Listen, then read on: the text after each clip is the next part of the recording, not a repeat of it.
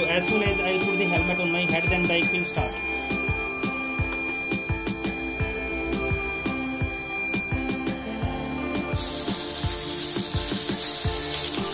Now you can see motor is running because this is the alcohol. Alcohol detected. This is the message on the LCD and this is the alcohol. So I will take the alcohol near to the sensor. Alcohol detected.